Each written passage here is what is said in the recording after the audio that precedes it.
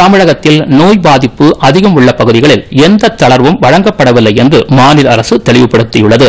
சிவப்பு ஆரஞ்சு பச்சை என பாதிப்புகளை பொறுத்து மாவட்டங்கள் மத்திய அரசால் வகைப்படுத்தப்பட்டு அதற்கு ஏற்பவே தளர்வுகள் அனுமதிக்கப்பட்டுள்ளதாக மாநில அரசின் செய்திக்குறிப்பு தெரிவிக்கிறது. தொழிற்சாலைகள் தொடங்குவது உள்ளிட்ட தளர்வுகள் மத்திய அரசு அனுமதித்துள்ள தளர்வு விதிகளுக்கு உட்பட்டே அறிவிக்கப்பட்டுள்ளதாக அந்த செய்திக்குறிப்பு மேலும் கூறுகிறது.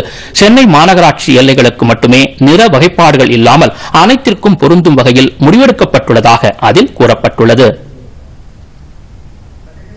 இதற்கிடையே இந்தியாவின் இதர மாநிலங்களில் இருந்து தமிழ்நாட்டிற்கு திரும்ப விரும்பும் மாணவர்கள் உள்ளிட்டோர் நான் ரெசிடென்ட் தமிழ் டாட் ஓஆர்ஜி என்ற இணையதள முகவரியில் பச்சை நிற பதிவு பட்டன் வாயிலாக பதிவு செய்து கொள்ளலாம் என மாநில அரசின் மற்றொரு செய்திக்குறிப்பு தெரிவிக்கிறது.